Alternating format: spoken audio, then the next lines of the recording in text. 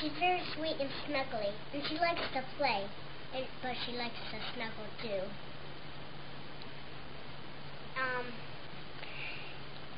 and she's just um very cuddly.